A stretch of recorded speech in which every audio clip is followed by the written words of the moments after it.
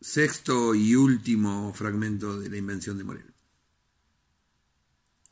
La eternidad rotativa puede parecer atroz al espectador. Es satisfactoria para sus individuos. Libres de malas noticias y de enfermedades, viven siempre como si fuera la primera vez, sin recordar las anteriores. Además, con las interrupciones impuestas por el régimen de las mareas, la repetición no es implacable. Acostumbrado a ver una vida que se repite, encuentro la mía irreparablemente casual. Los propósitos de enmienda son vanos, yo no tengo próxima vez. Cada momento es único, distinto, y muchos se pierden en los descuidos. Es cierto que para las imágenes tampoco hay próxima vez. Todas son iguales a la primera. Aún veo mi imagen en compañía de Faustín.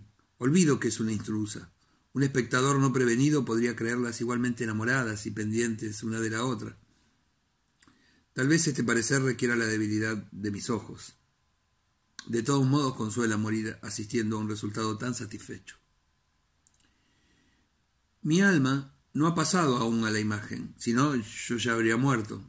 Habría dejado de ver tal vez a Faustín para estar con ella en una visión que nadie recogerá. Al hombre que basándose en este informe invente una máquina capaz de reunir las presencias disgregadas haré una súplica.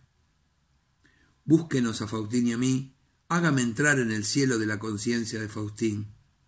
Será un acto piadoso.